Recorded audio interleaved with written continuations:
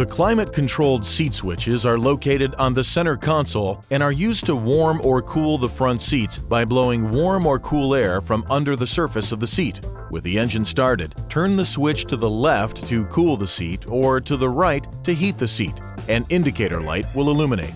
To turn the climate-controlled seat switches off, return the switch to the center position. The indicator light on the switch will turn off.